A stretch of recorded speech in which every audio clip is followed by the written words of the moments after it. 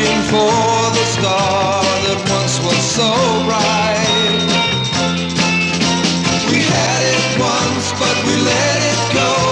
The warm affection